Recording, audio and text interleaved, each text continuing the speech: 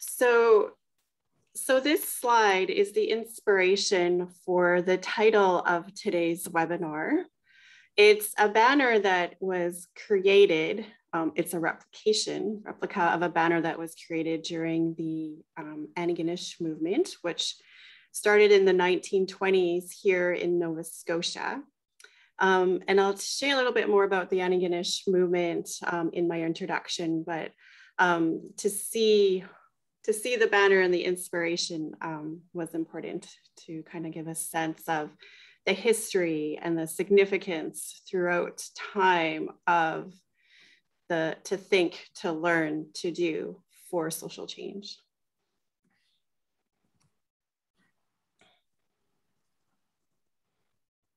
And if you're interested, and I know some of you are also graduates of the Coady Institute, as well as graduates of the Masters of Adult Education program and students of the Coady or students of the Masters of Adult Education program here, programs here at St. Francis Xavier University. There's currently, um, we're accepting applications at the Coady for the courses you see um, on the slide as well. We're um, accepting applications for courses in the Masters of Adult Education programs, um, and particularly right now is open for the new cohort in adult education, women's leadership, and community development. And we'll be posting links for these programs and applications in the chat shortly.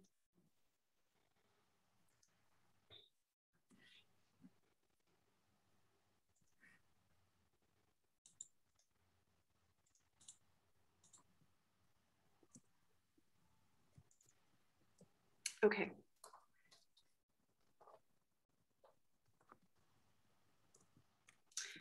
Okay. So let's get started. Uh, we're still waiting for one speaker to join us. And um, I don't see her here, uh, but we're gonna get going because we appreciate your, your time and the time of the speakers and there's lots to, to listen to and to share. So I'll begin. My name, um, I'd like to begin by saying welcome everyone from around the world on behalf of the Coady International Institute and St. Francis Xavier University's Department of Adult Education. I thank you for joining us today. I begin by acknowledging that I, the Coady International Institute and St. Francis Xavier University are located in Mi'kma'ki, the ancestral and unceded territory of the Mi'kmaq and Maliseet peoples. This territory is covered by the treaties of peace and friendship first signed with the British Crown in 1725. Acknowledging relationship to land and peoples, past, present, and future, is a call to action to recognize the historical injustices and genocide of Indigenous peoples and ongoing discriminations and inequalities that are experienced um, by Indigenous peoples in Canada, and also recognizing that Indigenous peoples around the world have been affected by colonization due to the long-standing realities and legacies of, of colonization. I also acknowledge the necessity of action and advocacy for reconciliation in building right relationships with Indigenous and non-Indigenous peoples, learning, unlearning, critical thinking, and reflection, individual, collective, and societal is imperative to reconciliation and building a just society for all. I am Dr. Robin Neustaeter, program teaching staff at the Coady International Institute and an assistant professor of adult education uh, in the Faculty of Education of St. Francis Xavier University. If you've been noticing the chat, you'll see that Jenny has been posting some Zoom notes to be mindful of in regards to making the best of this Zoom experience during the webinar. Um, I also just wanna highlight a few so this webinar is being recorded and will be available for viewing later on the Coady YouTube channel. Please feel free, and I see some of you have already been doing this, but please feel free to post your name and where you're joining us from in the chat. Um, in the chat, you can also post comments, reflections, and questions for the speakers um, and to share with everybody who is here. So I see we already have over 100 and we have 107 people with us today. This, so this is fantastic. I'm very excited.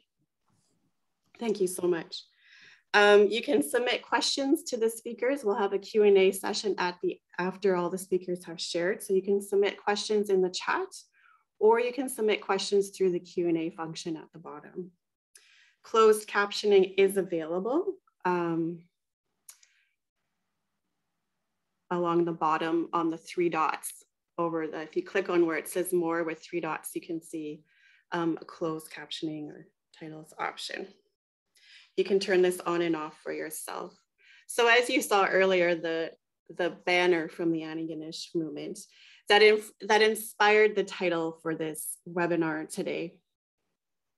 So a little bit about the Antigonish movement for people who don't know, it, as I noted, it began in the 1920s and carried on for several decades.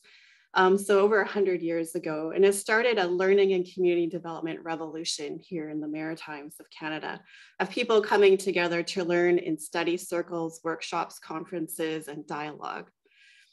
To become agents of their own destinies, they studied cooperatives, credit unions, home economics, adult education, and more. Thousands of miners, farmers, small business owners, foresters, homemakers, men and women from across the region took part Word of these study circles and successful cooperatives and credit unions spread around the world, and soon people were coming from all over the globe to this rural community of Antigonish here in Nova Scotia to see what was happening and why it was being so successful.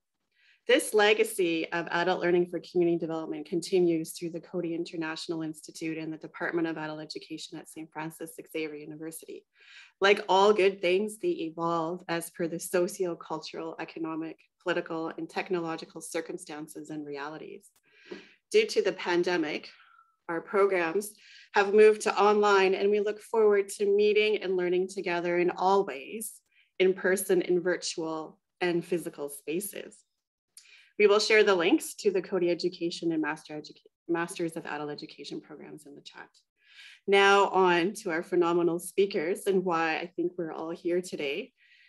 So we're gonna try to travel around the world following the sun to hear from our speakers. And our first speakers are Smita Bhatnagar and Kapila Bahilabai Vankar from the Self-Employed Women's Association in India. Smita is the senior, senior coordinator of the Self-Employed Women's Association, also known as SEWA, an organization and a movement comprising of 1.7 million informal sector women members across 16 states of India. Currently, Smita heads the SEWA Managerni School, the training arm of SEWA, which strengthens the managerial, technical, and soft skills of grassroots women and their micro enterprises. Some of her key initiatives include identifying and developing needs-based content, delivering training, leading the training module digitization project, and setting up livelihood linkages and developing a cadre of grassroots master trainers. Kapila Ben is a small, far, small and manager, marginal farmer and agricultural worker from Rasno village in Anand district. She is an elected president of SEWA since 2011. She is a tenured lead master trainer and she is part of the training team wherein she has attended train the trainer programs on managerial, soft skills, and technical trainings. She has been instrumental in training and mentoring young master trainers. As well, Kapila trains teams to plan, operate, run, and manage the activities of community learning business resource centers across various nations, locations nationally. She has trained more than 2,000 members nationally and internationally. And Smita will be translating for Kapila. So Smita and Kapila, I hand the floor over to you.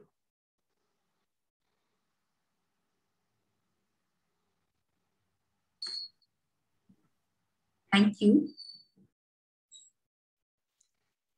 Great. Can you turn on your video, Smita? Does that work?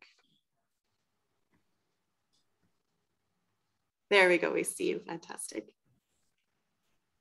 Kapilaben can also start. Kapilaben video on Karishapur. So I will start and then have Kapilaben share. That sounds great. Namaste everyone. So glad to be here today. With the introduction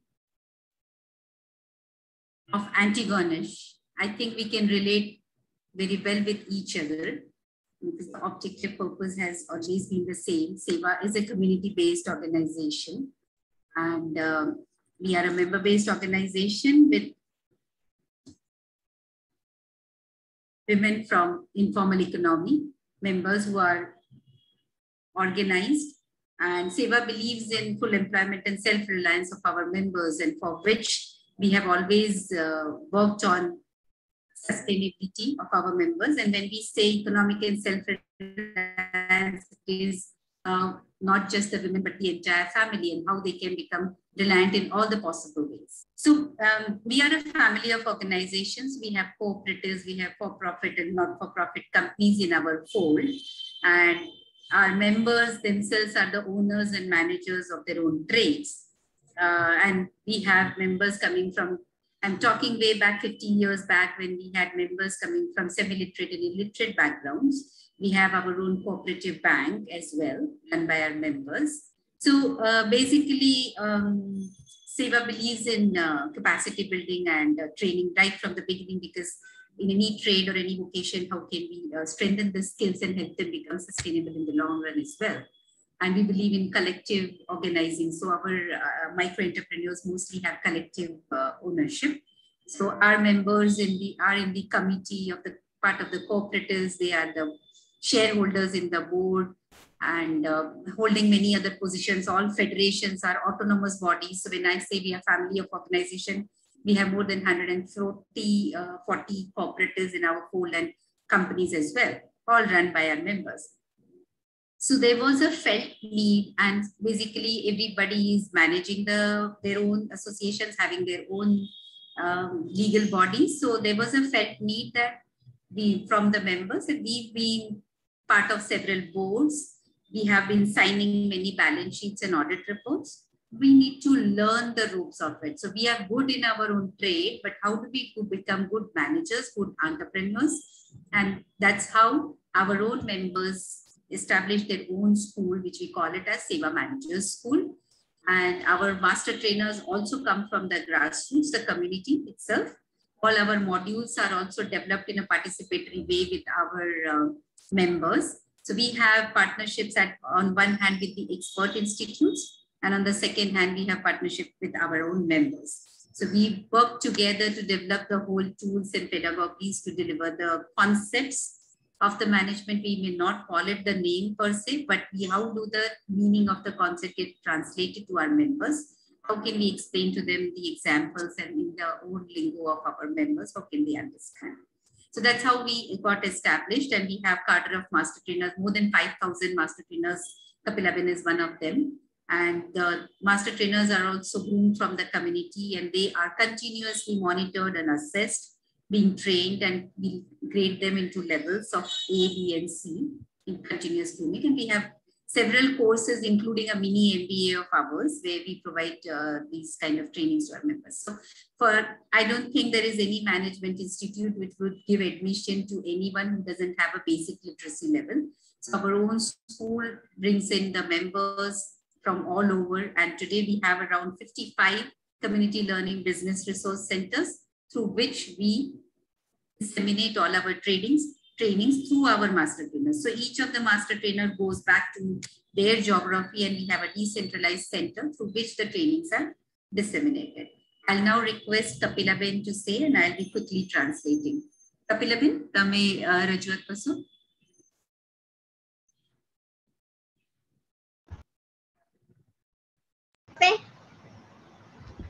Smitaben નમસ્તે મારું નામ કપિલાબેન છે હું આણંદ જિલ્લાના રાજકોટ ગામમાંથી આવું છું હું પોતે ખેત મજૂર બેન છું અને 21 વર્ષથી સેવા સાથે જોડાયેલી છું So I'm Kapilabin. I'm coming from a Ras Rasnol village in Anand district. I'm a small and marginal farmer myself and have been associated with Seva for the past 21 years.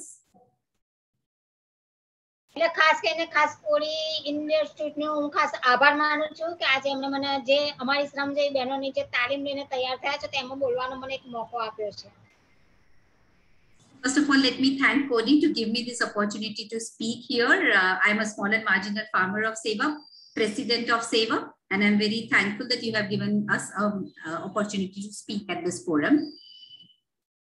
બતાવું કે જબ જ્યારે અમે સેવામાં નતા જોડાયા, ત્યારે અમારી હાલત ચાર દિવાલની અંદર હતી. પણ ત્યારે અમને કોઈ દિશા નથી મળતી જીવનમાં આગળ વધવા માટે કે જીવવા માટે.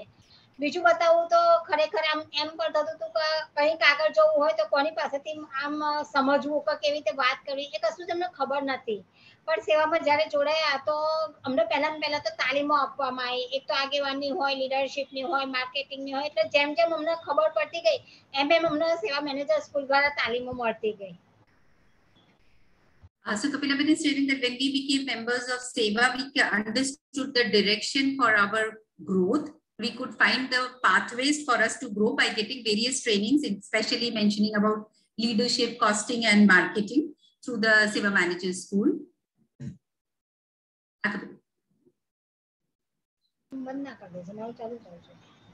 જેમ જેમ તાલીમ અમને મળતી ગઈ, એમ એમ એવું નહીં કે તાલીમ લઈને અમે અમારા સીમિત રાખી કેમ કે હું એ સેવા મેનેજરની સ્કૂલમાંથી જે તાલીમ લીધી, એમાંથી હું એક માસ્ટર ટ્રેનર બની. અને માસ્ટર ટ્રેનર એવી રીતે બની અને એ જ તાલીમોમાંથી મને એક ખેતીની તાલીમ મળી. દાખલા તરીકે મારા પોતાનું તમને એક ઉદાહરણ આપું. કે હું માસ્ટર ટ્રેનર બની, તો એમાંથી જ્યારે હું ખેતી કરતી હતી, તો મને કોઈ ખેડૂત પાસેથી કોઈની પાસેથી આમ દિશા જોતી તો કોઈ મળતી નથી. પણ જ્યારે મેં તાલીમ લીધી, તો હું પોતે મારા આખા ખેતરની જે હું પહેલા જે કામ ખેતરમાં ઉત્પાદન કરતી હતી, એનાથી મેં અલગ રીતે કર્યું. અને મેં આખી લીલીની ખેતીનું પરિવર્તન કરી નાખ્યું. પહેલા હું જે પાક કરતી હતી, એમાં હું નિષ્ફળ જતી હતી. પણ જ્યારે મેં લીલીની ખેતી કરી, તો એમાં મને ફાયદાકારક રહ્યું So uh, it's not that we, I took the training and I realized that this training is very important for all our members. So I trained myself, I got myself trained as a master trainer so that I could provide training to more such sisters in my village and nearby. So if I share about myself, basically I'm a farmer and I would have remained a small and marginal farmer. But when I got these trainings, I realized that I can grow at this level, or uh, grow in farming as well. And when, through the trainings, I got an idea that I can go into lily farming. And today I have taken it up as a business in leafy farming. બીજું ખાસ કહું કે તાલીમમાં જ્યારે મેં લઈને master trainer અમે જ્યારે બનીએ છીએ, ત્યારે અમારા સીમિત અમે એ ટ્રેનિંગ નથી રાખતા.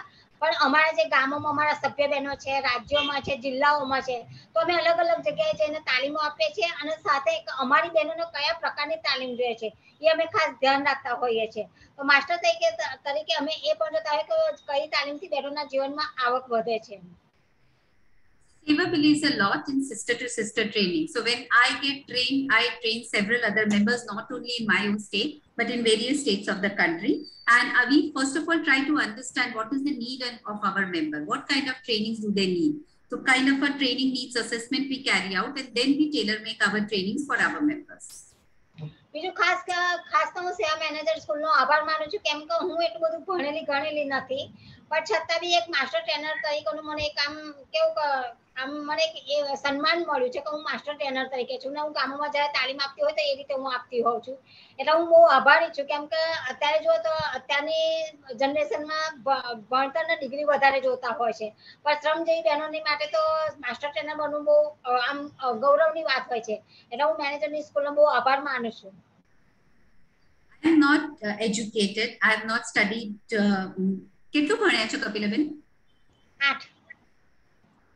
So I've studied only till class 8, but I'm so proud to be a teacher. For my, for me, I have I am a master trainer, so I'm kind of respected as a teacher in my community, and I'm so happy that even though I am less educated, I am able to learn and also translate the learnings to others. And uh, so it is through SEWA Management School that I got the opportunity to learn so much and also take the learnings to others. So be I'm very proud to be the master trainer. બીજું ખાસ કહું કે હું પોતે તો master trainer તરીકે એટલી આગળ વધી પણ ગામના સભ્યોને પણ અત્યારે અમારા ગામના સભ્યો જે માસ્ટર ટ્રેનર તરીકે કામ કરતા હતા, તો અત્યારે એ પણ એમની રીતે આગળ વધી રહ્યા છે ધંધાની અંદર. એટલે એ રીતે એ રીતે હું તમને ખાસ કહું છું કે અમારા સભ્ય બહેનો નામ પોતાનામાં શક્તિ વિકાસ ટ્રેનિંગથી, તાલીમથી આવ્યો છે અને પોતે આગળ પણ નીકળી રહ્યા છે. એ કોઈની સામે બોલી નતા શકતા, એ અત્યારે બોલતા પણ થયા છે. તો હું એ પણ કહેવા માંગુ છું અને બીજું હું ખાસ કહું છું કે સેવાની અંદર જ્યારે અમે હતા ત્યારે તો બહુ ઓછું ભણેલા હતા. અને જેવી બહેનોથી શરૂઆત કરી હતી કે અને અત્યારે તમે જો તો અમારી ત્રીજી અને ચોથી પેઢી જે ભણેલી ગણેલી છે, તો એ લોકોને અમારે જ્યારે સેવાની અંદર અમે જોડીએ છીએ તો પહેલા પહેલા અમારા મૂલ્યોની સાથે એમને એમને ભણી લઈએ છીએ. કેમ કે ભણેલા ગણેલા છે, એમનો ટેકનોલોજીનું જ્ઞાન પણ છે અને એમનામાં આવડત છે. પણ એ જ્યારે તાલીમો લઈને એમને અમને તૈયાર કરીએ છીએ ત્યારે એ બોલતા થાય છે અને એમને એમને કેવી રીતે આગળ વધવું એની એમને દિશા મળતી હોય છે So with our trainings, we are continuously taught, uh, taught to think to do things differently. How can we convert with the various challenges to um, make it into an opportunity? And I would like to specifically mention that how do we take the technology to the grassroots is something something that we have taken up and especially now that younger generation members are becoming members of SEWA they have more a different profile. They are educated than us. They know technology better than us, but we are blending our efforts together. We teach them our values and principles, and they teach us technology. So this is how we are going together as a pair and taking our trainings forward.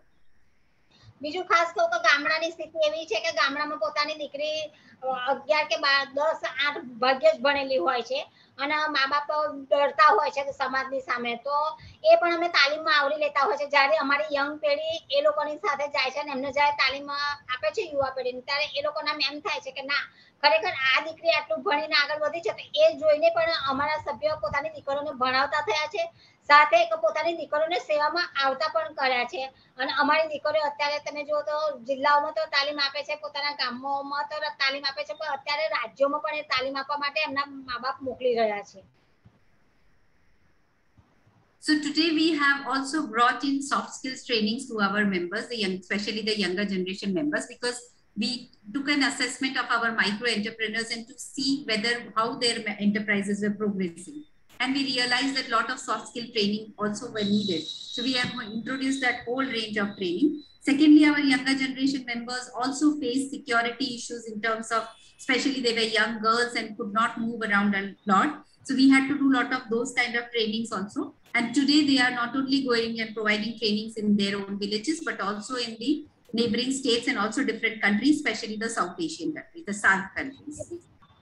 એટલે અત્યારે અમારા શ્રમજીવી બહેનોના જે દીકરા હોય દીકરીઓ હોય તો એ ભણેલા તો હોય પણ એમને કેવું કે દુનિયાનું જ્ઞાન ને ચોપડીનું જ્ઞાન હોય છે જ્યારે એમને જીવનમાં આગળ વધવા અમારે દીકરીઓને અમારે બહુ સ્ટ્રોંગ બનાવવી પડે છે કેમ કે અત્યારથી જ આવા વાતાવરણો થઈ રહ્યા છે ને આવી તકલીફો આવી રહી છે, તો એની સામે અમારી પેઢીને કેવી રીતે ટકાઈ રાખવી?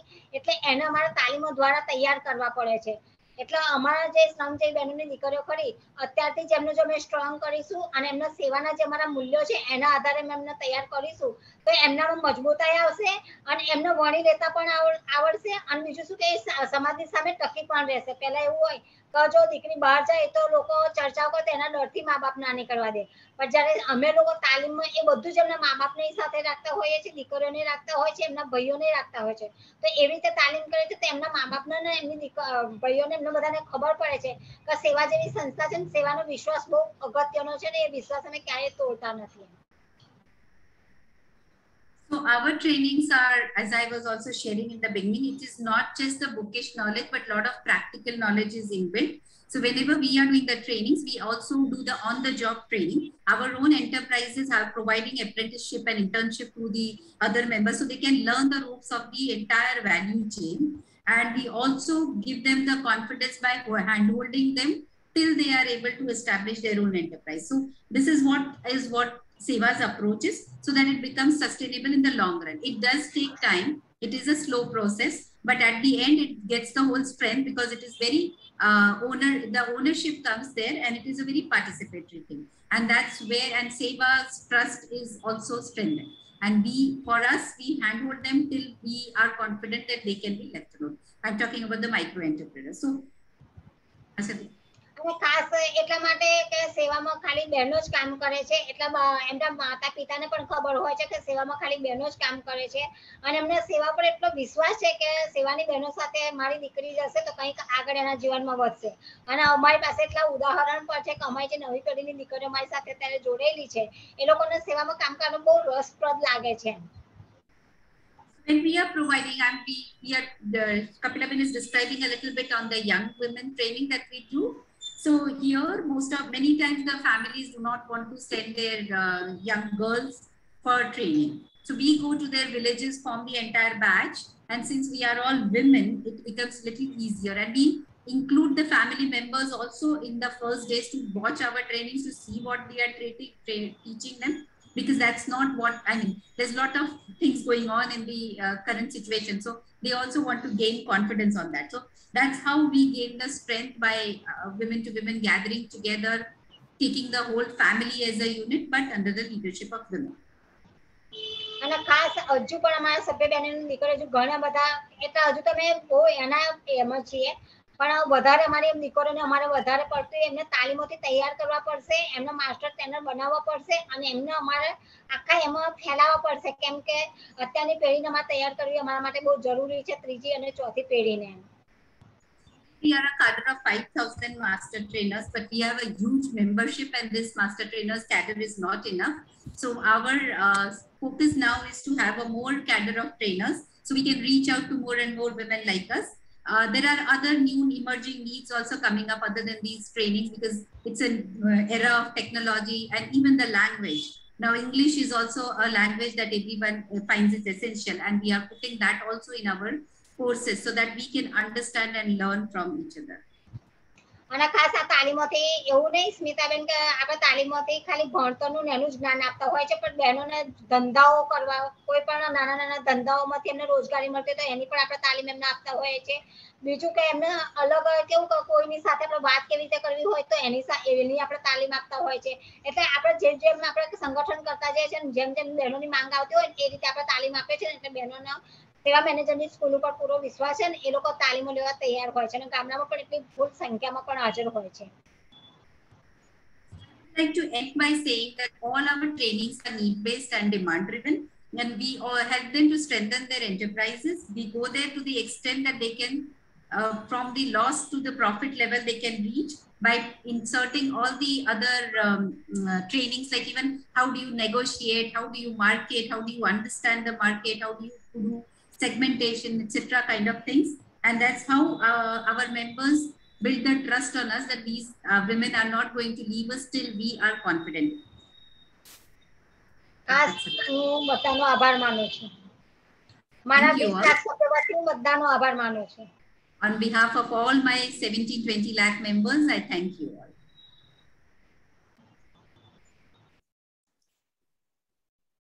Thank you. Thank you so much, Smita and Kapila. So now moving on, we're going to travel to the African continent. Um, specifically, we're going to take ourselves to South Africa, where our next speaker, Sahra uh, Ryklief, I hope I'm pronouncing your last name correct, Sahra, who is based in South Africa, is joining us from. She is the Gen Secretary General of the International Federation of Workers Education Associations. This, uh, the IFWEA brings together a global network of NGOs and education institutions providing education and research and trade unions in communities and educational um, in, and education institutions. The Secretary General, she was elected uh, at a global conference of its affiliates um, the Secretary General is elected every four years.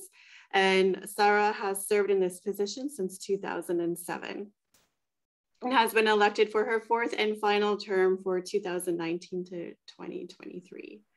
Sahra is also an adjunct instructor of the Labor Studies and Employment Relations Department of the School of Management and Labor Relations at Rutgers University in New Jersey, USA. She has produced research for the department and teaches the course for their labor studies degree on social movements, social change, and work. She is an experienced labor educator and researcher, has been a commentator and analyst on trade union and civil society performance and strategy in Southern Africa for over three decades. She is the former director of the Labor Research Service, LRS, and still represents the LRS as a chairperson of the DITI Kenny an ethical investment fund committed to long-term sustainability of South African NGOs. Sahra, the floor is yours. Thank you, Robin, and thank you very much for inviting me um, to present the International Federation of Workers' Education Associations, which we call IFWEA for short, um, and that is what I'm going to do. Uh, Brian, may I have the first slide? Thank you. So firstly, who and what is IFWEA? IFWEA is a global federation of worker educators that has been in existence since 1947. Um, initially started by European and North American worker educator organizations attached to labor uh, parties and movements. um, it's grown and changed significantly over the years. So even though I'm based in Cape Town, South Africa, and the Secretariat is here as well, um, we're an international federation and we have affiliates in different countries, one of which is the Indian Academy of Self-Employed Women, which services SEWA. Um, so it's very nice to be sharing a platform um, with sisters from SEWA.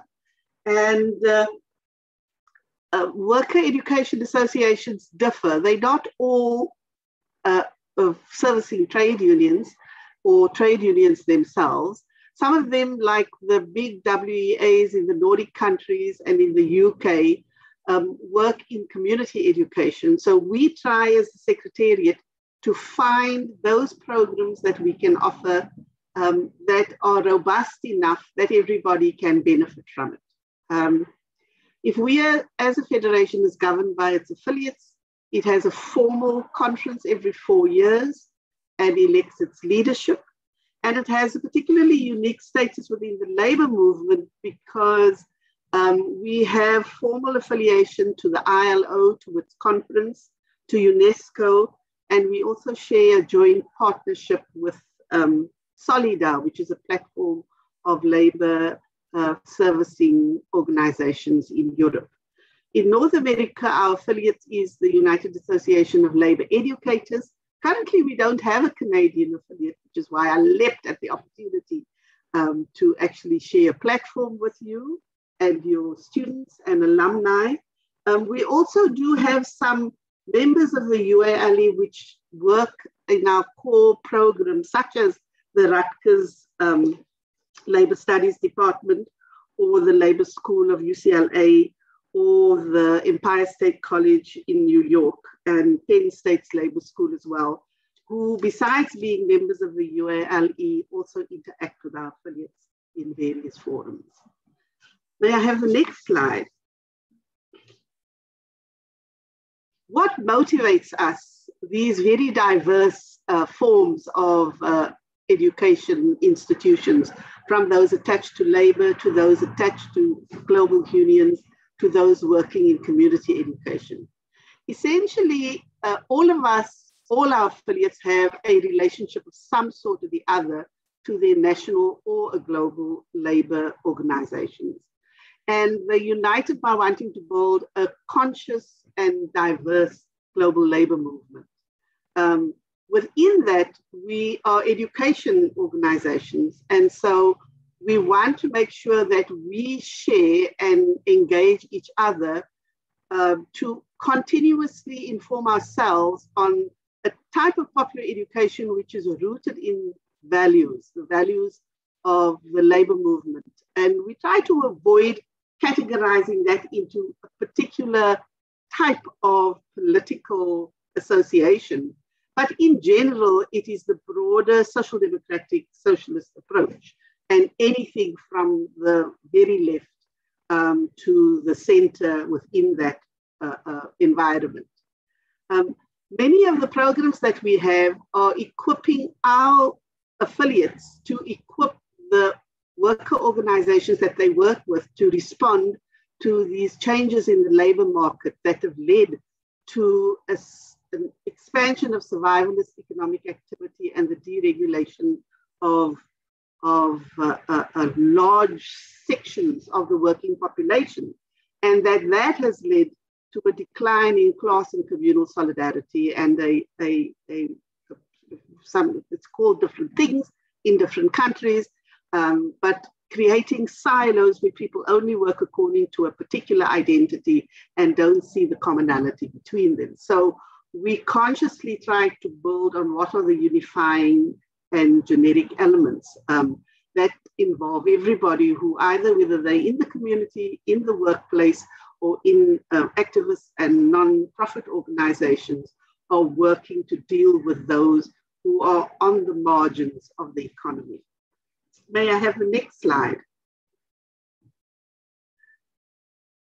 And we do this through uh, recalibrating a form of education which is very uh, old, um, which is worker education or adult and continuous education or liberal education. It's called different things. in different contexts and in different countries. Um, and the recalibration is to ensure that firstly, um, people's observations and uh, the information that they impart through their education and the knowledge that they are developing actually conforms to the current reality, that they're not wistfully uh, uh, trying to educate people on what was without also acknowledging what is. Um, because if we do that, then what we're doing is we are not really becoming a force for change as educators. Um, and then secondly, to assist the leaders of labor organizations from the traditional uh, trade unions to the new forms of labor, such as SEWA, and even community-based organizations which are connected with uh, working people or working uh, uh, identity, working class identity, to develop the narrative that actually deals with the current reality and which crafts an imagined future um, that they are prepared to put their energies and work behind. And in the doing of that, we focus on building coalitions and relationships between traditional and new forms of organizations and between formal structures of trade unions and member organizations and non-profit and campaign organizations who work together. So much of our work tries to bring different people from different aspects of uh, uh, organizing in the 21st century together through the learning events that we structure. Um, in terms of the next slide, which is content, context, um, the one immediately after this one, thank you. We have to acknowledge that um, what the current reality, and it's been intensified by uh, the pandemic and the economic constraints that have gone with lockdowns over the past year and a half, has led to uncertainty um, and anxiety in the working population that our affiliates um, are in contact with and have trusted relationships with.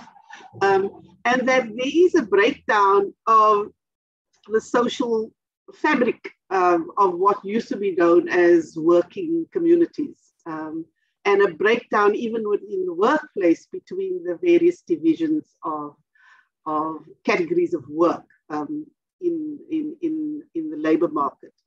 And um, we also have to acknowledge that there's an intensification of uh, political divisions, imbalances, inequality, and this is the environment that we work in. And then lastly, with the pandemic, we're faced with the fact that we've got to put greater emphasis on the use of digital tools and methods.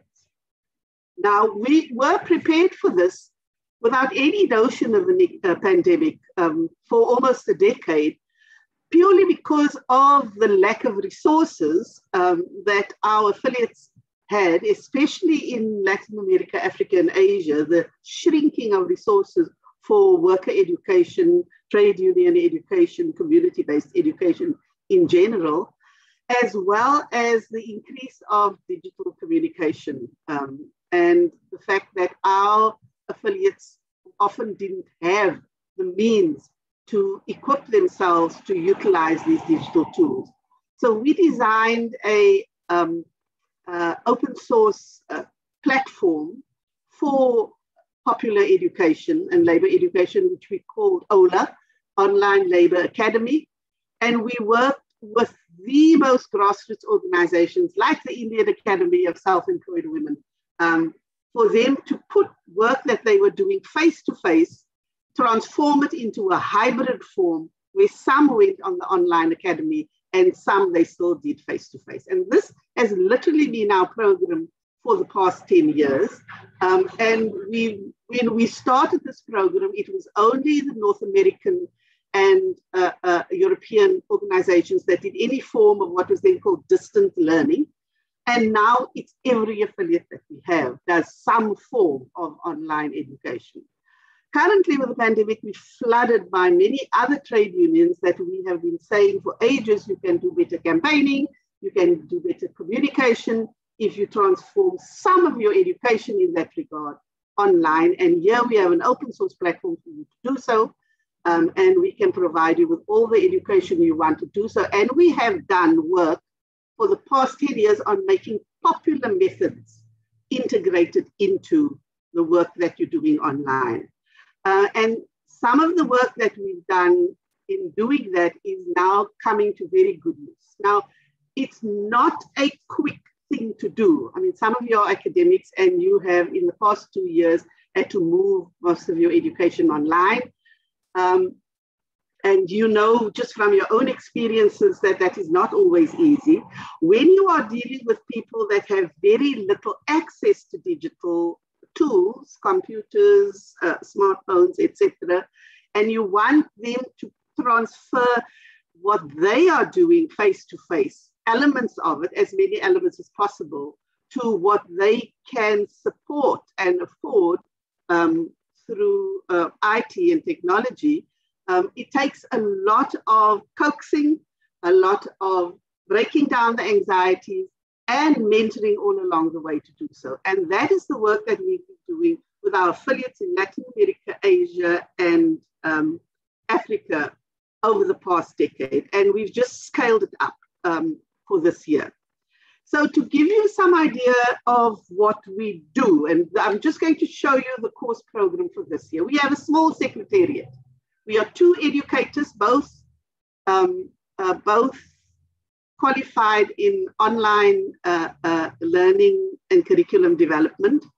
And then myself as the General Secretary that does a lot of the design work and two administrators to support us. And we have this cohort of young people that we have run through a program which we call the Youth Globalization Awareness Program for the past seven years, bringing them to Cape Town to do an immersion in seminar and working in field work with new movements. Um, because we use Cape Town as a global example of global inequality. The, the statistics in South Africa of the gap between the rich and the poor conform as an almost mirror image of the rich and poor countries globally.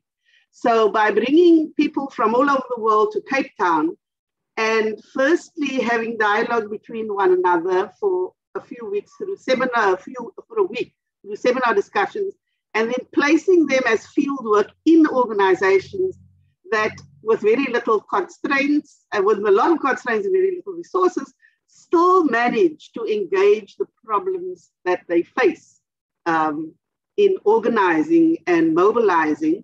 Um, we're building what we call a young, uh, a group of young leaders for the future who will recraft solidarity, global solidarity, with an understanding of what um, what you face um, in the developing countries when you organize um, so that is what YGAP is. So this is the, I'm just going to run quickly through these courses.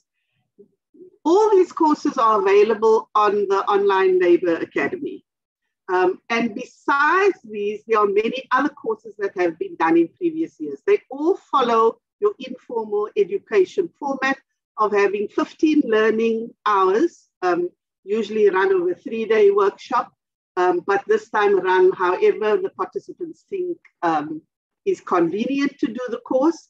And we work as the secretariat with facilitators of our affiliates in different countries, and then they work with the member-based organizations and trade unions offering the same course again.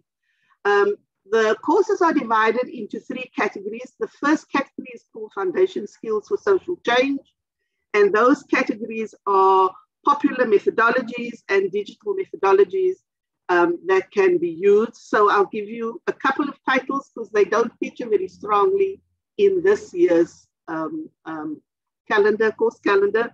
There's uh, popular methods of theatre for social change, where a Zimbabwean organization that does amazing work um, picking up on social issues through the use of theatre have designed a course um, that honestly is one of the best courses for action theatre that I've seen yet and could easily be picked up and applied in other countries. There's Popcorn and Politics, which is a, a, a, a film, a, popular film organization which designed the ABC of being able to create your own films and it provide education through that. And then there's a number of courses that the Secretariat educators develop, participatory learning methods, how to conduct a WhatsApp course, building trade union company networks, um, how to promote uh, political participation and agency in youth, etc., etc. Those are the foundation skills for social change courses. These courses, we're focusing on three themes, which are our themes up until 2023 that we have chosen. They are violence and harassment in the workplace towards the adoption of, uh, of ILO C190. Um, then there's the effects of climate change on the poor, and that is where uh, organizations in, of the working poor um, actually highlight how climate change is affecting their work and the uh, uh, uh accumulation of, of uh, some kind of livelihood. And then there is uh, protecting the rights of migrant workers. Um, those are our three themes. And then, of course, running through those themes are the demand driven skills that our affiliates uh, uh, uh, have to provide to trade unions, which is information for collective bargaining, tools and methods for organizing, tools and methods for communication. So the first, the, the left column of the slide are the courses that the Secretariat educators provide to facilitators in our affiliates. The right courses on the slide are those that our affiliates provide to their trade union support in their countries. Um, and the focus is very heavily on affiliates that we have in Latin America, in Asia, and in Africa. And then what is not here, it's in one line here, are the work we do with the global unions, especially Africa and Latin America, to support the work that they do with their affiliates, which is everything from um, webinars to roundtable discussions to opening up dialogues. Now, anybody can go onto www.ifwaonline.org and sign up as a guest to have a look at what is there. Um, we offer this platform free to any organization um, that does uh, education for member-based organizations. And they can contact us. If you go to the last slide, um, our secretariat email address is there and the website is there. I could, of course, go into detail about many of these courses, and I'd love to have conversation with some of the participants that are here. So I'm hoping we will hear from you in the future. Uh, there will never not be the need for face-to-face education uh, uh, in uh, adult and continuing education. Um, but what can be achieved through utilization of digital tools is quite amazing. The most important thing is that you don't lose the value, you don't lose the participative methodology, and that you provide the support and resources, if it means buying data for your uh, facilitators and for your worker organizations, if it means, like SEWA does, equipping a van and taking it into a village and opening it up and having that screen there and having if it means translating what would be in words into um, um, animation in some form, uh, all of that can be done so that we can utilize our resources as best we can to do what has to be done. Thank you very much.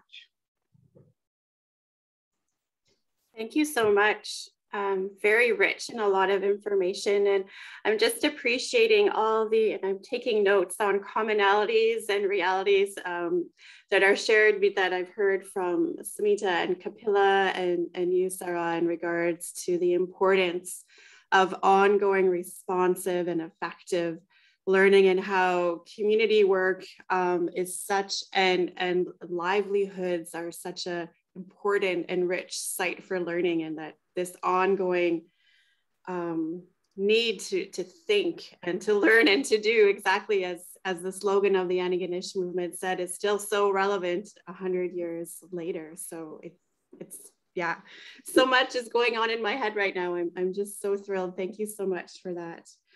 So now we're going to um, jump across the Atlantic Ocean to Canada. Um, before I do that, I just want to let people know that um, our speaker, Lilian Liundi from the Tanzanian Gender Networking Program is unable to join us today. She's unwell.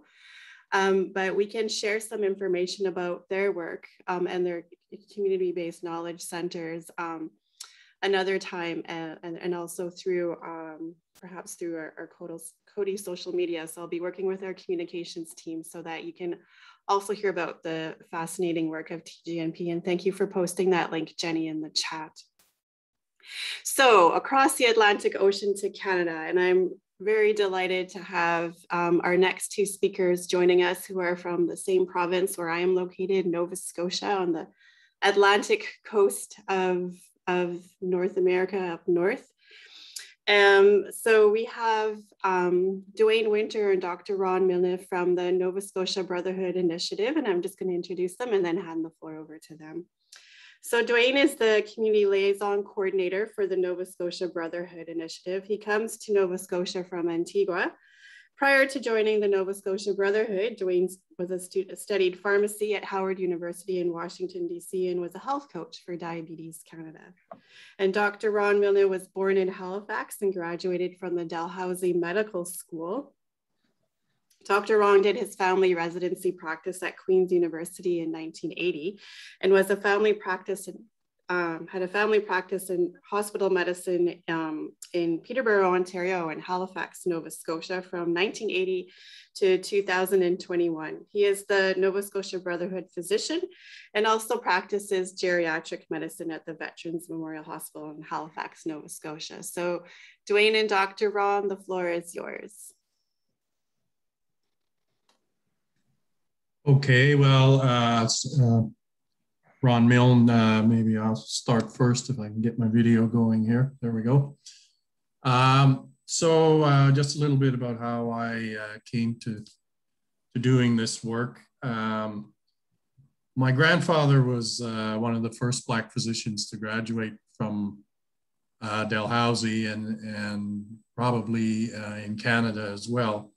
He was a civil rights advocate and social advocate and, and public health advocate as well.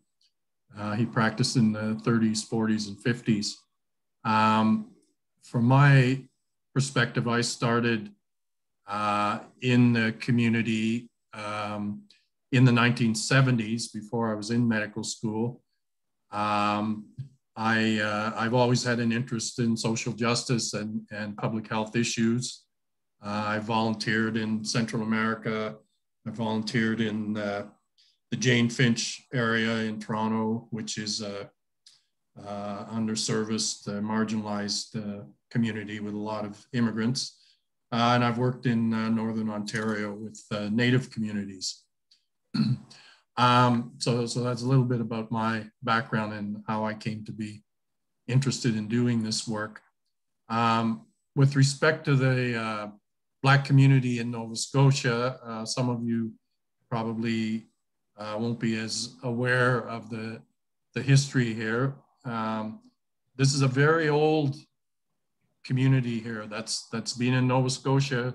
The first uh, Black settler, uh, Matthew DaCosta, actually set foot in Nova Scotia in 1604. So it, it actually predates um, uh, Black uh, immigration to the United States. And there are some very old communities here from the 1700s, a number of small Black communities in Nova Scotia. The population is just under, of, of uh, Black um, uh, people is just under 25,000 in Nova Scotia. Traditionally, the community has been marginalized uh, economically, socially, uh, and, and in many ways. Um, and uh, with Black men, uh, we know that the mortality rates in some of the communities uh, have been uh, very unfavorable. And also there are a lot of morbidities, uh, for instance, prostate cancer, vascular diseases, diabetes. Um, there are many conditions that are, that are commoner in the Black population. Uh, unfortunately, Nova Scotia has not collected any race-based health data, and it's one of the things we've been strongly advocating for uh, with the Brotherhood because we need to have that information. Um, the Brotherhood Project is about six years old. I've been the physician um, since, uh, since the program started. Um, our program is really based on the social determinants of health and, and social advocacy, um, where we, we try to make our program Afrocentric, we try to make it holistic and um, community based. And the reason for this is that traditionally, uh, Black men have not attended uh, uh, medical care as often or as soon uh, as they should. Um, and this is a lot of historical basis. Uh, they felt unwelcome, marginalized, uh, and that their needs were not listened to and not being addressed. So uh, the, the Brotherhood was basically a response to that and a program uh, developed out of um, Nova Scotia Health Authority. Um, we do um, have clinics uh, where we we see uh, men, um, mainly adult men, um, for uh, a variety of, of health problems, uh, including mental health issues, which has been a big part of our program and has been really uh, exacerbated during uh, the pandemic. Um, but we also do advocacy uh, programs uh, and conferences. We've had now had three annual Black Men's Health conferences. The last one was in November uh, 2020, where Dr. Joy DeGruy uh, from the US was our speaker, and we had over a thousand people uh, on that webinar presentation. So uh, it, it, was quite a quite a successful um, webinar. Um, in recent times, we've been very active as part of the uh, COVID response team when there was uh, outbreaks of COVID in several of our Black communities. And uh, we helped uh, public health to uh, go into the communities and get uh, services in there, including treatment, testing, education, and more recently, um, a vaccine program. So we're quite active in a lot of areas uh, beyond just traditional um, healthcare and, and traditional clinics, though that is um, the basis of our, uh, of our program. Um, we really base our program on relationships uh, and partnerships and relationships, especially in the community, gaining trust, uh, where, as I said, there hasn't been a lot of trust between the Black community and the healthcare system. Um, we do a lot of advocacy work and we partner with many different organizations. Uh, Corrections has been one of our uh, major uh, partners, uh, particularly we've had a navigator in the um, courts um, to deal uh, particularly in mental health issues and also in uh, domestic violence. We've done a lot of presentations and education on variety of different subjects in the communities themselves. Um, we do education, we work with housing, uh, we work with psychiatry very closely. Uh, we work with uh, lawyers on legal issues, including immigration, uh, which has been a big uh, problem for some of our Black men who have immigrated here from Africa and the Caribbean and run into legal issues. And then uh, as a result, their, their immigration status is, is threatened. So um, that's just a, a sample of uh, the things that the Brotherhood does. We're, we're mainly in um, uh, five different communities right now, and we have clinic day uh, on Wednesday where we see patients in these communities. But uh, we're also involved in making house calls. We're involved in seeing patients in the hospital. Uh, so we have a, you know, a, a, broad range of services that we offer. Uh, and I think Duane is going to uh, expand on that a little bit and talk about uh, some of the programs that we offer. Yes, good morning, uh, ladies and gentlemen. Thank you for having us here today. So as Dr. Ron has given us some information on the uh, Brotherhood, um, in addition to um, having a family doctor with the Brotherhood team, we also have um, a team lead, which is like an administrative uh, role. We also have a psychologist, as well as um, a psychiatrist, um, social worker, and nurse practitioner. All these individuals are um, African descent. So we in, we envision an Afrocentric approach to our to our organization. Um, so Dr. Ron also mentioned that we have done some conferences um, which focus on social determinants of health.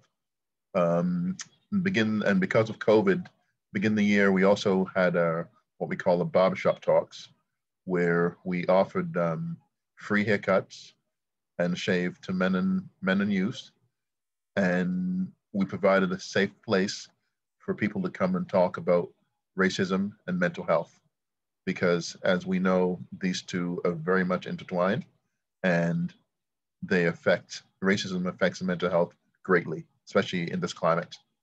Um, the project lasted about uh, eight weeks, and we are actually restarting it this fall. So when we start this fall, we're going to um, try to um, encompass a lot of the universities because a lot of universities do have um, students from all over the world, and racism not only affects um, just Black people, but people of East in East Indian, people of Lebanese descent, everything. So we are trying to um, break down that barrier so people can talk, come have a safe place, and just open up about things that bother them um, in regards to living um, here in Canada away from the family. Um, another thing that uh, we have with the Brotherhood is a men's health league. Now, what this is, um, it's a it's a it's it's a virtual meeting we have once weekly, um, where it's a peer-to-peer support uh, very, very intimate, about only about 10 men. And we'll just come and discuss things that bother us. Um, it could be something from work, home. A lot of men don't want to talk about their problems. So it gives them a chance to open up to other men and get advice and support from other men. Um, also, we um, this fall we're going to be starting um, because of COVID. Everyone's kind of been in that um, lazy frump. So we're starting a walking group. So we're going to have a walking group every week where we go to different communities and get between 15 to 20 individuals and just go for a walk to get out, um, talk, get some fresh air, socialize with friends again, somewhat. Social distance, of course. Um, we're also at present time, we also have a, a podcast going. It's called My Melanin, and it's operated right now um, by a group of Dalhousie uh, medical students who they they put the podcast out to talk about issues that they have faced um, going to university as a black person, uh, male male and female. Also, social problems they face as as black male and females within the, within uh, Nova Scotia. Uh, another thing that we we start we would start again is also workouts because um, a lot of people aren't afraid to go to the gyms. We do Zoom workouts where um, twice a week for 45 minutes. We offer free exercise programs, um, very basic um, exercises, uh, sit-ups, push-ups, jumping jacks, stretching, Pilates, yoga. Um, it's just to get people moving and feeling like themselves again. And I think uh, that's it. Robin, any questions from anybody? Thanks. Thanks so much, Duane and Dr. Ron. So we're going to open it up to questions after all the speakers. Okay. No so problem. we have one more speaker. So people, please feel free to post your questions in the chat um, or hold on to them. Um, you can also post them in the Q&A and we'll get to uh, addressing your questions after our next speaker. So, um, so our final speakers, we are going to travel south from Nova Scotia down to Chile. And I'm delighted to introduce you to Sonia Covarrubias Kindermann. I'm sorry, Sonia, if I didn't pronounce your last name correctly. Sonia is a social worker and the executive director of EPES, the foundation since 2015. She has developed advocacy actions to improve public tobacco control policies in Chile and carried out training activities with women who live in poor communities and primary healthcare teams on popular education, HIV AIDS, communication, sexual and reproductive rights, tobacco control, among others. She currently coordinates the projects Migrants have the right to health. And Angelina Jara Garcia is a psychologist, educator, member of the EPES Board of Directors. She is responsible for educational activities in health from the perspective of popular education, gender and women's health rights on issues such as HIV AIDS, sexual and reproductive rights, and gender-based violence. She has trained health teams on various topics such as community campaigns, sexual and reproductive rights, approaches, and tools for effective communication in community work and health. She also has participated in the Chilean Network Against Violence Against Women. 2017, Angelina participated in the Global Change Leaders Program at the Coady Institute. And in 2018, she co-facilitated a course here in Antigonish at the Coady on community leadership for women. Since 2011, she has been the coordinator of the International School of Public Health Education carried out um, by the Foundation of EPES. So I'm going to hand the floor over to you, uh, Sonia and Angelina, and I know you are su supported by one of your colleagues. So the floor is yours. Thank you. uh, uh, please excuse me my English. I want to read some text.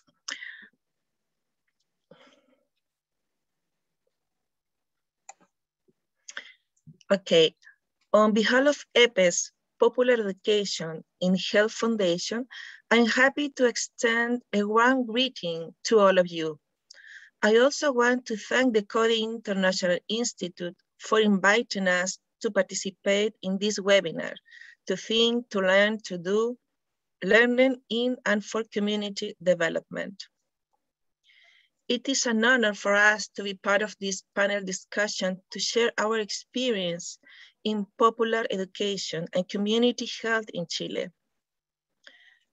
Our presentation is divided into four parts. First, I will briefly describe who we are and what the EPES Foundation is. Second, we will describe our educational approach that is based on popular education methodology.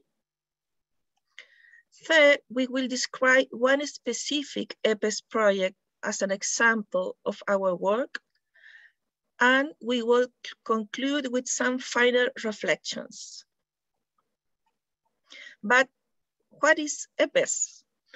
The EPES Foundation is located in Chile we are a nonprofit organization that was founded in 1982 during the military dictatorship to promote health and dignified life through empowerment, mobilization, and collective action, especially for women who live in poor and marginalized communities. Since its beginning, EPES has been an organization led by women who work collaboratively and collectively to carry out our work. We are guided by the belief that it's possible to transform reality through community involvement and social organization. We approach our work with a right to health perspective related to people's living conditions. We work to promote the right to health, sexual and reproductive rights, healthy and quality nutrition, the right to health for immigrants, and to prevent gender-based violence. Now, my colleague Angelina is want to talk um, about popular education and the EPES project. Thank you, Sonia. Okay, to uh, share a little bit more about our work, we want to say that our work is based on popular education theory and methodology.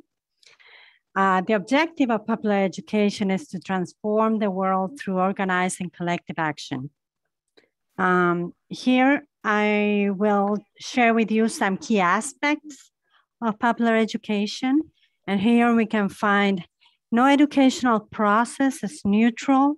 Popular education takes a stand in favor of social transformation to strengthen the organization of excluded groups. Finding collective solutions also starts by problem posing a reality. Here we have an image designed to generate reflection that portrays a poor neighborhood of Chile. We use this image, we use images like this that Paulo Freire called a code or a generative theme when we work with the community groups. We share this drawing and ask, what problem does this child have? What are the causes of the problems? And what can we do to address this situation? Popular education also generates the active participation of communities by strengthening organization and social relations. People um, should be active in their own learning process. We learn by doing. And local intervention must be relevant to the situation, needs, and conflicts of the particular community. Here we have another reflection generating image that shows a nutritionist using technical language to speak about nutrition, while on the other side, we can see a community meeting with people reflecting about the problem of food based on their daily experiences. Popular education recognized the capacity of the community itself to explore and pose related to the context in which they live. Knowledge is built through interaction between people. And now I would like to share a little bit some details about one of the projects that EPES is working right now at the present time. And this project is called Nutrition, Justice, and Health. Well, the project has two main areas of action. Um, the first area of action is local and national advocacy carried out through the Community Coalition on Nutrition, which has helped build, which we helped build in the district of El Bosque in the southern zone of Santiago. This coordinating board is comprised of public employees who work in the Municipal Department of Health, Environment, and Education, along with EPES and local community organizations. The coalition also has developed actions and educational materials to create greater community awareness of the importance of promoting the right to quality and sustainable nutrition. To accomplish these actions, meetings had been held in person and also virtually, as well as workshops on a range of topics. Um, for people who participate in this coalition and also for the community at large. Here you can see some of the pictures with the people gathering and having virtual meetings and also in the garden. And also when, when it was, when we were able to get together um, face to face, one of the first pictures, but um, and now the second area of action uh, of the project and in general in all the projects that EPES is doing is uh, training and ongoing technical assistance for community organization, especially for women's group, geared to strengthening local organization and their autonomy. In 2017, the Siembra y Cosecha Salud Plant and Harvest Health group was founded. Here you can see a picture of the women that are part of that group. And in 2020, in the midst of the pandemic, uh, it formed a community gardening group, a collaborative effort made up out of three different women's group. This area of work has generated training on nutrition as a human right, community garden, composting, natural pest control, and workshop to learn to bake um, sourdough bread together. Here there are some of the pictures, as I said before. Uh, we had, during the pandemic last year, we have several um, different workshops that we had to adapt the technology into the context that we are um, living glo globally. So we have some pictures here where the women are starting to plant and they also are the sourdough bread workshop and also starting to arrange the um, to build the Auco community garden that you can see at the bottom of the slide. And it, um, it has also generated interest among the local organizations to create gardens in other neighborhoods and other parts of El Bosque. Here's the group of women gardeners. And here we have the Auco community garden with the the latest harvest of vegetables. Um, that is a very great experience. Here you can see the women together in the garden, which has been a space for women and more in these hard times that we are going through um, to practice to practice collective care and also an, there it was an opportunity to heal to be uh, with each other to talk about the things that are concerned about in this hard time. Many of them felt very bad because um, we had a very long locked in in the houses and it was hard for them to go out. And so the garden was a place that it was very comforting for them. Um, and to finalize the part of the project, I want to, I just want to read a, a, a, very brief testimony of one of the health promoters that is also part of the gardening group. She said, um, we have to give the importance to things that really matter, not to consumerism that envelops you. The earth is resting from our aggression and once again, we are reminded that organization and working together with our community, with our community health groups, give us strength. In the words of Maria Carrasco from last year. And I will go give the word back to Sonia for some final reflections. And that's it. Tanya. Thank you. Uh, to conclude, uh, we would like to share some reflections about the contribution of popular education to community health work. People become strengthened and recognize their own capability as protagonists, visualizing themselves as active agents for change. Training is built based on the knowledge and abilities people already have it strengthens community organizations. Action address immediate problems while also searching for long-term solutions. The community defines its problems. Women see the lives of their families, their communities, and their own lives transformed. Training sessions and workshops become spaces for sharing and dialogue about our inherent wisdom and experience. And they also enable people to accompany and sustain one another in times of uncertainty and instability. Education does not change the world. It changes people who will change the world. Paulo Freire. Thank you so much.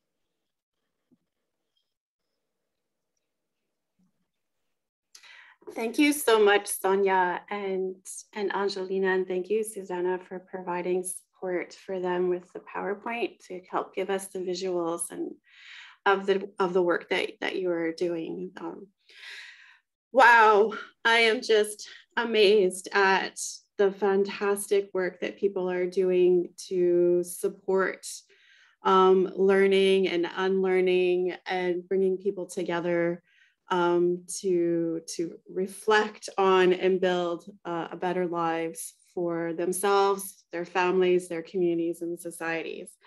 A gigantic thank you to all our speakers. I will now open the floor to comments, reflections, learnings, and questions from the audience. Um, I know there are some questions that were posted in the chat, um, as well as some shared in the Q&A. So, um, so yeah, uh, so one of the questions that was shared for, for Sahra in regards to, to your work, what are the linkages that are with um, governments um, you spoke about the linkages with uh, with the International Labour Organization and UNICEF. What about with national governments? Um, well, both ourselves as the Federation and all our affiliates are not direct, there's no direct influence of government on them. They are member-based organizations. Um, so the linkages that we have now currently in the program for this year are to try to engage our, um, our, our, our affiliates in the education that they're doing, to put as one of the learning objectives um, a discussion on how the change agents, the trade unionists, the uh, community uh, activists, the leaders of the member-based organizations, how they are engaging government on the issues. So uh, towards some education on opening up dialogue and with politicians, parliamentarians, councillors, etc., to raise the issues. So we work on a tiered system. Uh, what we do is we aim to uh, empower the facilitators through pedagogics, through methodology, through uh, thematic topics, um, to do the coursework with grassroots leadership who have to do the work um, of mobilizing, organizing, and advocacy. And so, but no part of this is the government intervention or engagement except on that level, uh, on the national grassroots level. Great, thank you for that.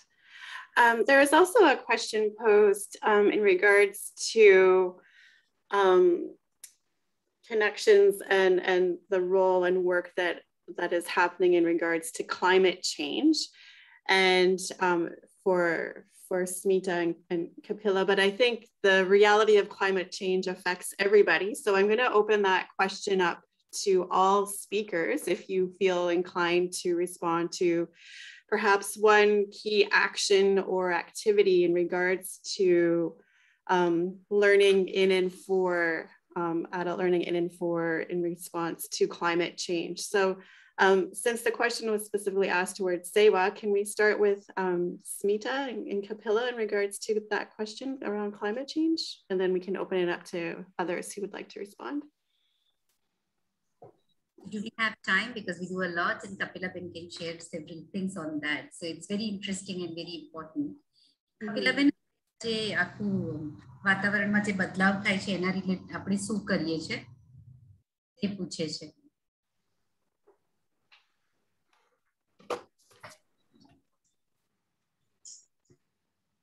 સમજે ને hello હા સ્મિતાબેન બોલો હા એટલે જે આખા climate ચેન્જનું આપણે કરીએ છીએ ને જે વાતાવરણમાં બદલાવ એના માટે આપણે કેવી રીતના કરીએ છીએ એ પૂછે છે કે એનું આપણા પર બેન ઉપર શું અસર થાય એની તાલીમોમાં કઈ રીતના લઈ જઈએ? એટલે વાતાવરણમાં શું અસર બહેનોને થાય છે એ કહેવાનું છે મારે આપણે કેવી રીતના એમાં કામ કરીએ છીએ? ક્લાઇમેટ ચેન્જના ઉપર આપણે જે આખી તાલીમોને કેવી રીતના લઈએ છીએ? ખ્યાલ ના આવે સ્મિતાબેન મને. ઓકે સારું તો મને start So yes, this is a very important and a sensitive topic for all of us, as you very rightly said. So we have uh, lots of programs that we run for that and uh, lots of awareness uh, programs also. We have a lot of focus on solar related trainings as well for the environment friendly. And uh, I think we uh, develop many training awareness programs in that regard. Uh, and our members basically take it across to all of them uh, with that. હા એટલે સ્મિતાબેન વાતાવરણનો બદલાવ થાય છે ત્યારે આપણે શું કરીએ છીએ? તમે મને કહેવા માંગતા હતા. હા? હા કપિલાબેન. હા એટલે હું શું કહું જયારે આપણા વાતાવરણમાં બદલાવ ને એવું થતું હોય ને બહેનોને તકલીફ થતી હોય ને તો આપણે એમને, આપણા મોબાઈલથી વોઇસ મેસેજ આપણા સભ્ય બહેનોને છોડતા કેમ કે એમના નંબર આપણી પાસે હોય છે એટલે, બરાબર? એક વખત એ કરતા હોય છે. પછી જ્યારે આપણી સરકારની કોઈ યોજના હોય ને, તો એમાં પણ આપણા સભ્યને આપણે જાણકારી આપતા હોઈએ છીએ. કા કેવી રીતે વાતાવરણના બદલાવમાં શું શું કરવાનું હોય છે સાથે કે આપણે જે ખેતીવાડી યુનિવર્સિટી ખરી ને, એની સાથે પણ આપણા સભ્ય બહેનોના આપણે લિંક કરે છે તો એ લોકો પણ વાતાવરણના બદલાવના ઉપર એમના મોબાઈલની અંદર મેસેજ છોડતા હોય છે we have uh, uh, we pass on the awareness messages through voice-based message or even we have tied up with the agriculture university and also have pamphlets and posters and messages through whatsapp groups that how we disseminate the information so that our farmers do not face the uh, effect of it.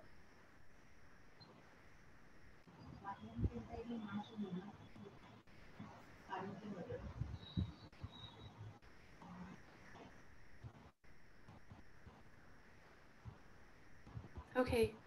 Um, thank you so much, Smita and Kapila, for responding to some of the ways that you are working in addressing climate change. Is there um, speakers from another organization or others who want to respond to how you're addressing climate change and in regards to the, the learning needs? I mean, it's a constant dynamic that we're all facing and, and as such requires all of us to engage in ongoing learning to, to adapt and also to unlearn ways and ways of thinking that we've held so close for so long. So if there's um, I'll open the floor, so please step up, speak up.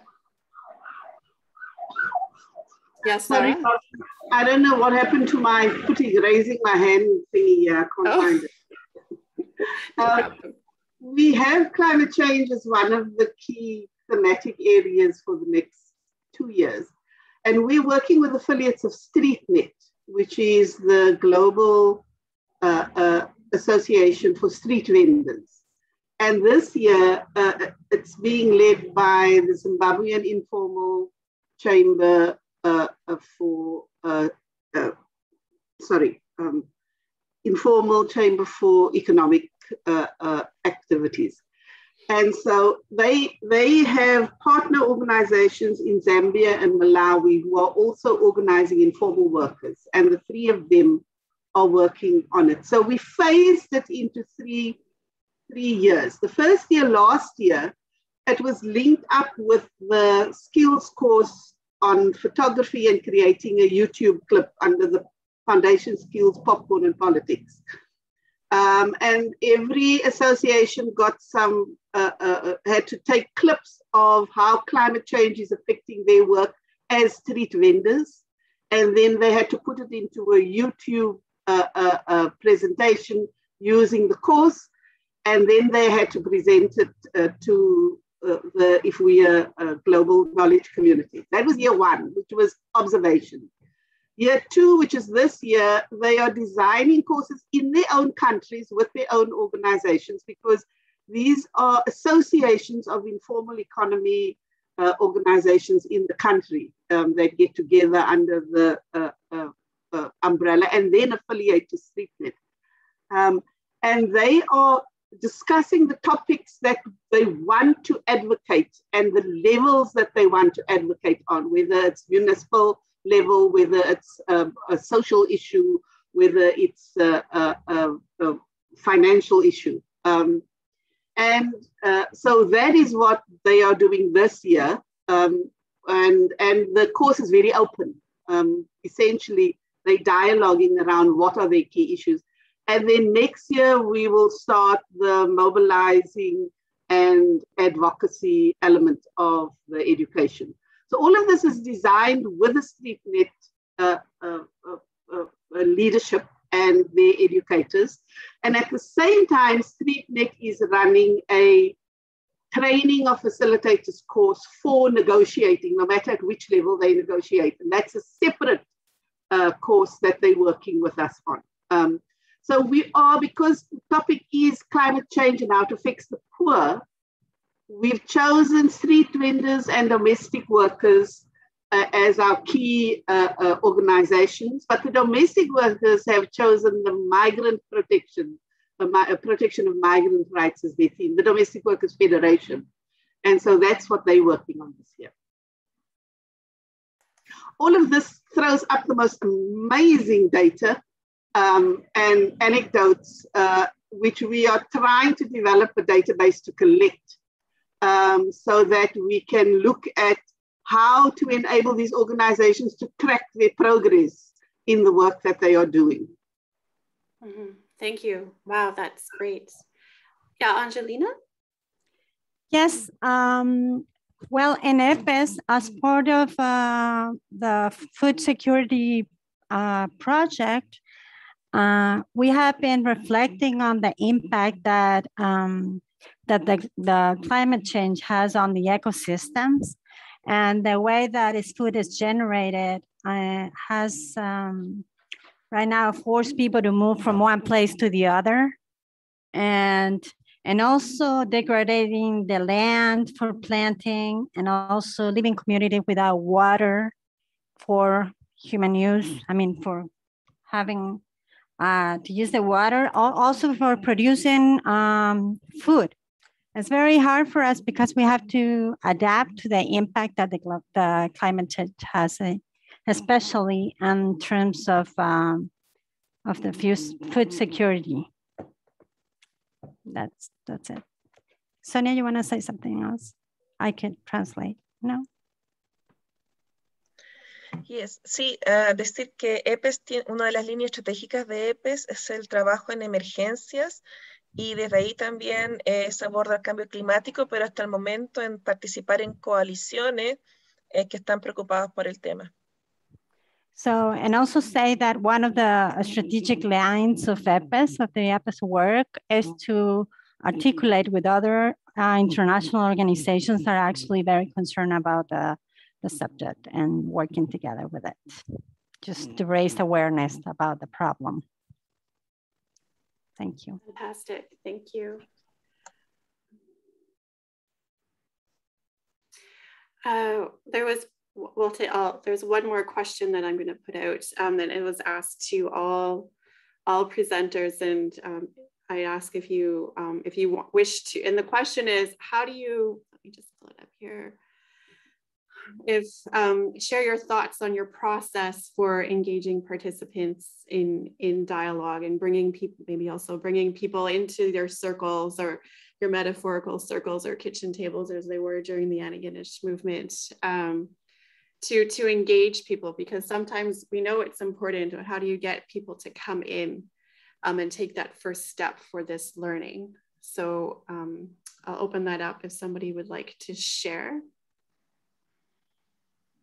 Uh, maybe maybe Duane or Dr. Ron, if you want to talk about how you uh, reach out to um, the community members to to and and how do you get them to come into the workshops or engage in the different programs that you have going on right now.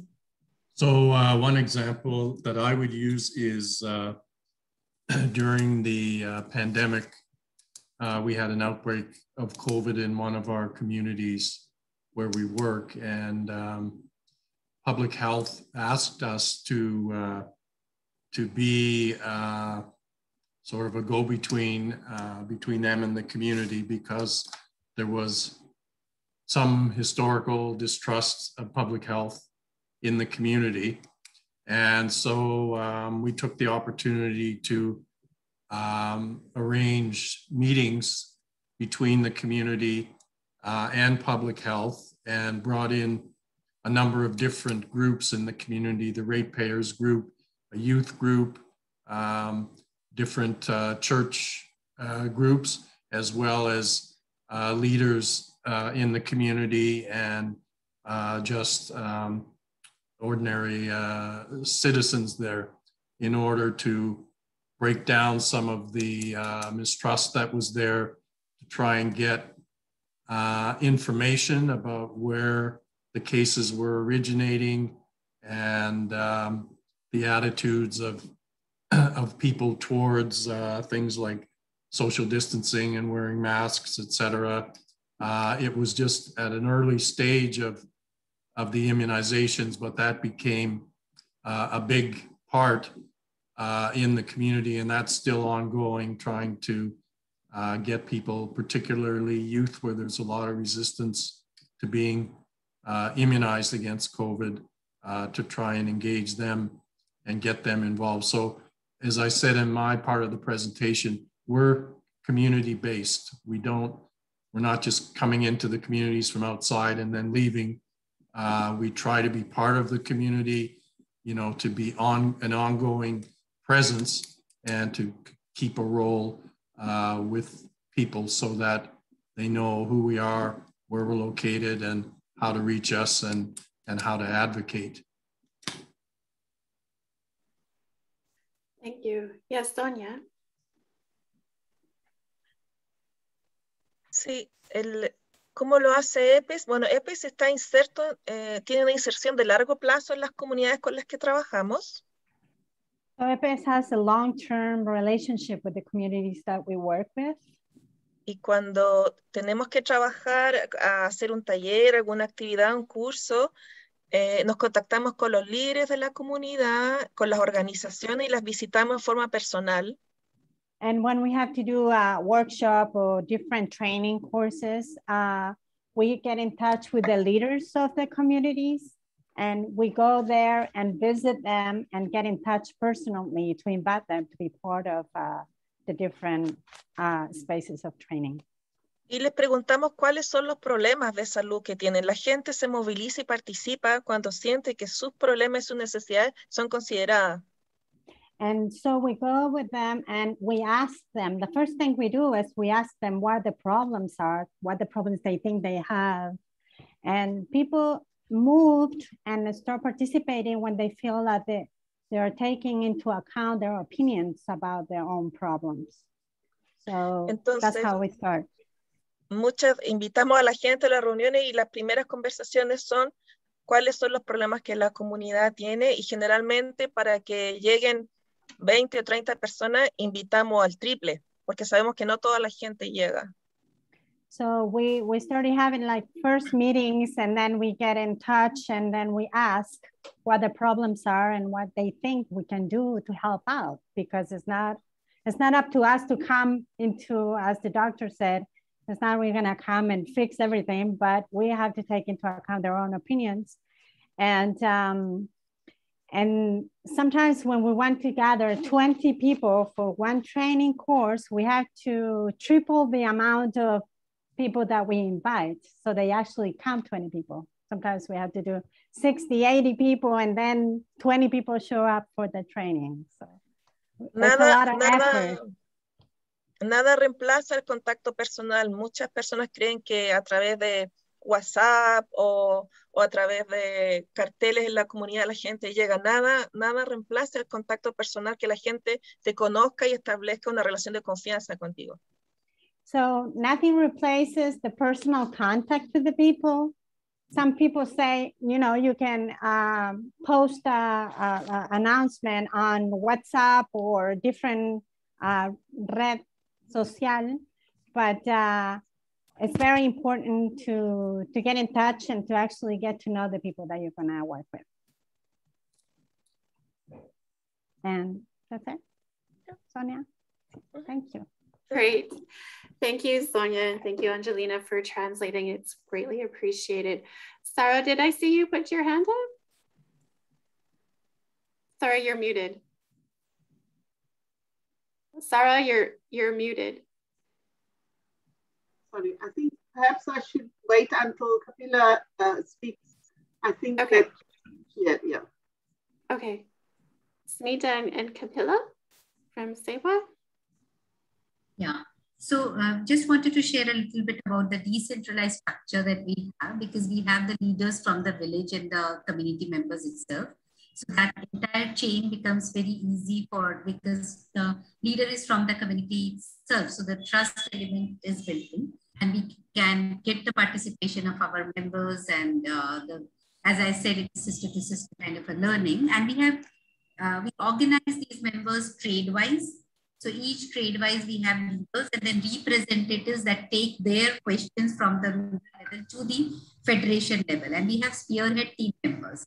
So Agivans we call as village leaders and the spearhead team members are the link between the uh, executive committee and the grassroots members. So the demands from the grassroots members are taken through these leaders and whatever um, decisions are taken that is transferred back to the grassroots level. And of course, we are using various other, every month there's a face-to-face -face meeting and the leader also goes to the villages. And now that since we have technology, we also use lots of um, um, WhatsApp groups or voice-based messages to which we disseminate. But for us, every decision is made consulting our members. It has to be participatory and coming from the members.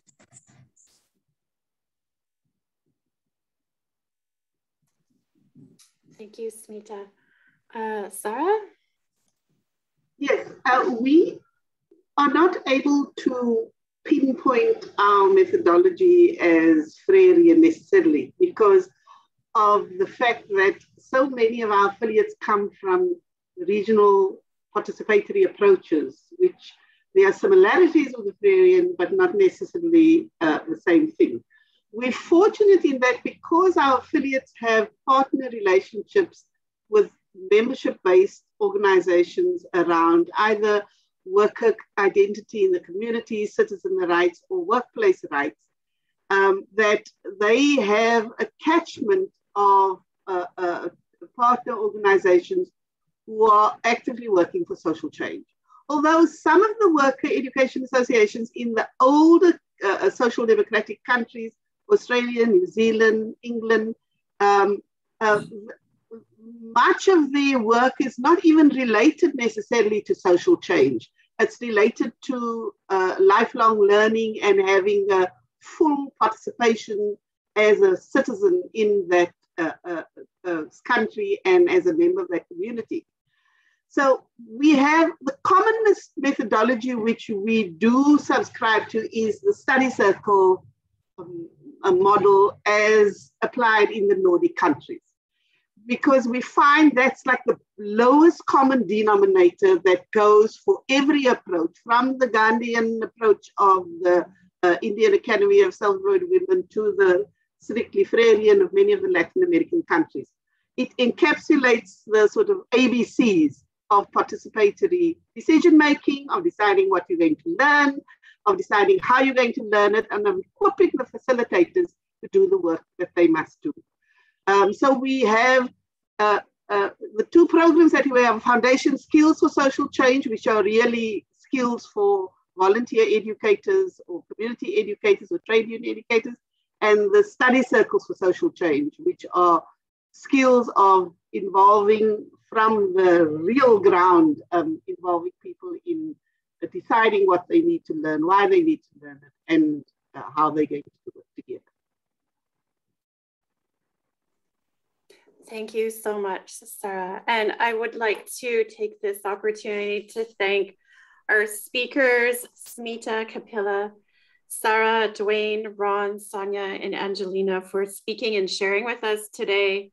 Community development is a significant learning site, learning about our oneself, colleagues, peers, humanity, community, and society, learning about pressing issues and learning how to do what needs to be done. If you're interested in exploring upcoming Coady International Institute online courses, please check out our education's program webpage. Note that the applications have recently been extended. Uh, the first courses will begin um, later in September. So um, it's a fantastic opportunity to meet with practitioners and curious people from around the world. Um, there have been some posts in the chat courses that link specifically to the topics that speakers have spoke on today. Um, also, if you're interested in the Masters of Adult Education program at St. Francis Xavier University, we have a research-based program which provides an opportunity for students to go deep into a topic that's of their own interest. We also have a specific online cohort. Um, most of our programs have gone online right now because of COVID, but an online cohort on adult education, women's leadership, and community development. Um, applications due in October. That program starts in January. Um, links will be posted in the chat as well. And I just, I'm so grateful for the words, the time, the interest and energy and curiosities that you have all brought today um, for us to explore this important and timely topic and practice. And I just wish all of you a very wonderful day. Thank you so much. Thank you. Thank you. Thank you. Goodbye, everyone. Bye-bye. Take care, everybody.